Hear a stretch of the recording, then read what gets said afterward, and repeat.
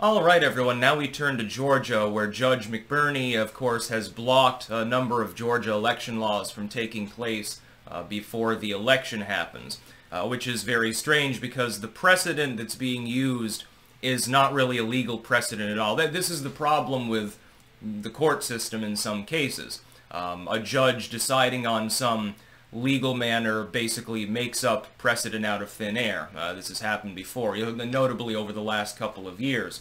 Um, the Georgia election laws would have effectively defortified the election there.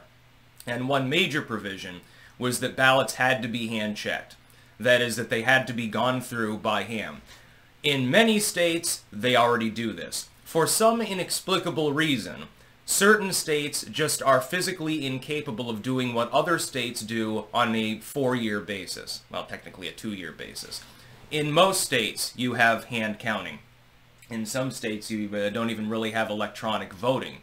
Um, you, you have old-school paper ballots. I think it should be paper ballot only. You can use a feeder system. That's obviously electronic, although you don't technically need those as well. And then they should be hand counted. Why is it that certain states, and they always inexplicably seem to vote blue in, in you know, competitive elections, just like in 2020. How very strange. It never works in reverse, it seems. How is it that a handful of states aren't capable, like, like the people there aren't capable of mustering the energy to actually go through the ballots by hand and spot check to make sure, hey, you know, this ballot is actually acceptable, that one uh, you know, it, it doesn't, it's not filled out properly, it can't be counted. This one is maybe fraudulent. Um, why is it that like 40 states in the union can do this and, you know, a handful of them can't? It's weird how the populations of certain states are incapable of doing so. Now, perhaps in Georgia I can believe it considering the election system there that's employed. And the same would be true of Arizona. But I would think that, uh, you know, saying that it will cause havoc, it'll cause chaos, well, we can't possibly do this. Uh, that was basically the precedent. It doesn't make any sense because there's a precedent in all of these other states where it's done on a routine basis and they've never really had problems with it. Absent a state like Florida, of course. Uh, well, that the 2000, it was a weird year, let me tell you. Hmm, 2001 got even weirder. But, uh, I think that McBurney is completely wrong. This decision will be overturned, but it'll be after the election.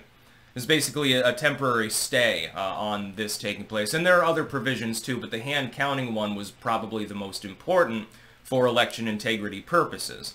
You have teams of volunteers that go in and they look through the ballots. Now, are there going to be a lot of ballots cast? Yeah. Can a few thousand volunteers at various precincts presumably go through the ballots that are going to be cast in, in the course of a night? Yes, they can. And as those results trickle in and are finally collated, you see the result. Now, Democrats, generally speaking, and then a handful of neocons will counter. Well, ballot fraud's not widespread. This, uh, we've had multiple elections over the last few decades that have been besmirched by things like fraud and and fucked up voting machines and everything else under the sun. The 2000 election comes to mind, probably most famously the the 2020 election. Uh, you know, again, the the states that couldn't figure themselves out are all the ones that flipped magically blue at the end of the night. It was very, very strange at the time. It took them days to count.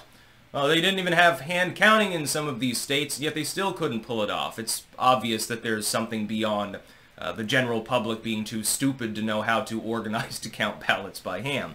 The 2016 election, uh, there were irregularities there. Democrats, by the way, love to exploit that topic to say that the election was rigged by a bunch of Russians. It wasn't, of course, but there are irregularities in every presidential election.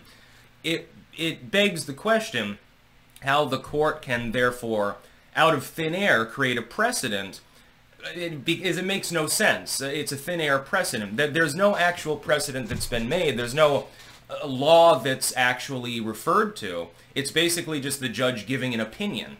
It has nothing to do with any sort of legal backdrop. It has to do with, it's my opinion, man.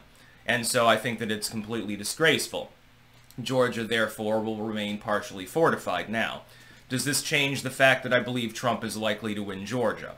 No, he's been consistently a couple points ahead, and he's running well ahead of where he was in 2016 when he won the state and he won the national election. The number of ballots, therefore, that you'd have to fudge is an order of magnitude higher than it was for the results you would have had in like 2016, when Hillary Clinton was ahead in the swing states generally, and certainly in national polling generally on election day. And you need a lot more ballot printers to go burr than you would even need in 2016, uh, and, and many, many more than in 2020. Um, when Biden was handily ahead in virtually all polling across the board in these competitive areas. In the end, of course, you still had a massive reduction in his support uh, in the end number versus the end polling, uh, but it wasn't enough, you know, because you only needed a few, uh, you needed like less than 100,000 ballots scattered across these states to flip the election. It's easier to pull that off than to say, ah, oh, we need like two, three million of them. So I still think that Georgia will go red, at least right now. I'm going to keep looking at the polling. Of course, we have to keep looking at that. And I don't think that it'll be enough. But it is, it is fudgery. This is definitely election diddling, so to speak. That's about all. Peace out.